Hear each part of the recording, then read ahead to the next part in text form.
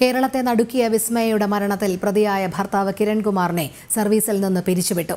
കൊല്ലത്തെ മോട്ടോർ വാഹന വകുപ്പ് റീജിയണൽ ഓഫീസിൽ അസിസ്റ്റന്റ് മോട്ടോർ വെഹിക്കിൾ ഇൻസ്പെക്ടറായിരുന്നു കിരൺ. കേരള സിവിൽ സർവീസ് ചട്ടപ്രകാരമാണ് നടപടി. സ്ത്രീധന പീഡനത്തിന്റെ പേരിൽ ഭാര്യ മരിച്ചതിനെ തുടർന്ന് ഉദ്യോഗസ്ഥനെ സർവീസിൽ നിന്ന് പിരിച്ചുവിടുന്നത് സംസ്ഥാന ചരിത്രത്തിൽ ആദ്യമാണ്. കൊല്ലം കടക്കിൽ സ്വദേശി വിസ്മയുടെ മരണത്തെ തുടർന്ന് സസ്പെൻഷനിലായിരുന്ന ഭർത്താവ് കിരൺകുമാറിനെതിരെ നടന്ന വകുപ്പ് തല അന്വേഷണത്തിന് പിന്നാലെയാണ് സർക്കാർ നടപടി. സംശയാതീതമായി കുറ്റം ചെയ്തെന്ന് തെളിഞ്ഞതിനെ തുടർന്നാണ് സർവീസിൽ നിന്നുള്ള പിരിച്ചുവിടൽ. ആയിരത്തി തൊള്ളായിരത്തി അറുപതിലെ കേരള സിവിൽ സർവീസ് ചട്ടപ്രകാരമാണ് പിരിച്ചുവിടൽ. കിരണിന് ഇനി സർക്കാർ സർവീസിൽ തുടർ ജോലിയും ലഭിക്കില്ല.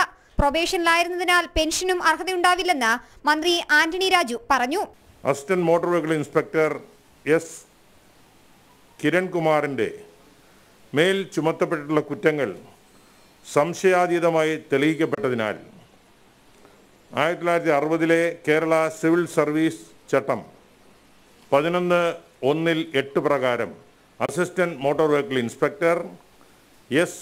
കിരൺകുമാറിനെ സർവീസിൽ നിന്നും പിരിച്ചുവിടാൻ തീരുമാനിച്ചു. പോലീസ് കേസും വകുപ്പുതല അന്വേഷണവും രണ്ടും രണ്ടാണെന്നും ഗതാഗത മന്ത്രി ആന്റണി രാജു പറഞ്ഞു. കിരൺകുമാറിന് പറയാനുള്ളതും കേട്ട ശേഷമാണ് നടപടി. കോടതിയെ കിരൺകുമാറിന് സമീപിക്കാമെന്നും മന്ത്രി വ്യക്തമാക്കി. ആ അധികാരം നൽകുന്നുണ്ട്. ആ അധികാരം ഉപയോഗിച്ചാണ് ഞങ്ങൾ ചെയ്യുന്നത്. അതിന് നടപടിക്രമങ്ങളുണ്ട്. അദ്ദേഹത്തിന് ചാർജ് ഷീറ്റ് കൊടുക്കണമായിരുന്നു. അദ്ദേഹത്തെ കേൾക്കണമായിരുന്നു.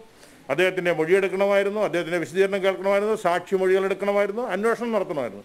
ഈ നടപടിക്രമങ്ങളെല്ലാം പൂർത്തിയാക്കിയിട്ടുണ്ട്. ഈ കോടതി ഉത്തരവിനെ ഗവൺമെന്റ് എടുത്ത് ഇതിനെ വേണമെങ്കിൽ അദ്ദേഹത്തിന് കോടതി ചലഞ്ച് ചെയ്യാം സെപ്പറേറ്റ് ആയിട്ട്. അതിന് അദ്ദേഹം ചലഞ്ച് ചെയ്യാനുള്ള സ്വാതന്ത്ര്യമുണ്ട്. സ്ത്രീധനത്തിന്റെ പേരിലുള്ള ഭാര്യയുടെ മരണത്തെ തുടർന്ന് ഭർത്താവിനെ സർവീസിൽ നിന്ന് പിരിച്ചുവിടുന്നത് ചരിത്രത്തിൽ ആദ്യമായാണ്. നാളെ ഗതാഗത മന്ത്രി വിസ്മയുടെ വീട് സന്ദർശിക്കും. ജനം തിരുവനന്തപുരം.